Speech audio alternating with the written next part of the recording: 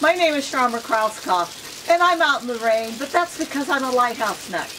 I like lighthouses so much I have written books about them. I have 25 books in print, and over half of them are about lighthouses. Uh, one of the other things that we did because of my lighthouse addiction was that we bought a lighthouse in Scotland. And when we bought that lighthouse in Scotland, we went to a lot of lighthouses and I met a lot of lighthouse keepers.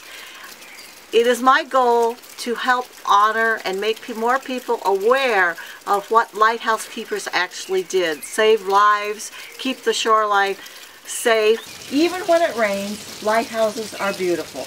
And it's, the story is a sad one, but it also shows the beauty of friendship, love, and support.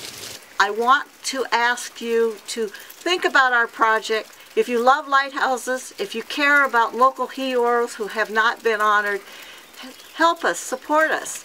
Have the dollars come in as much as the rain is coming down right now. Thank you.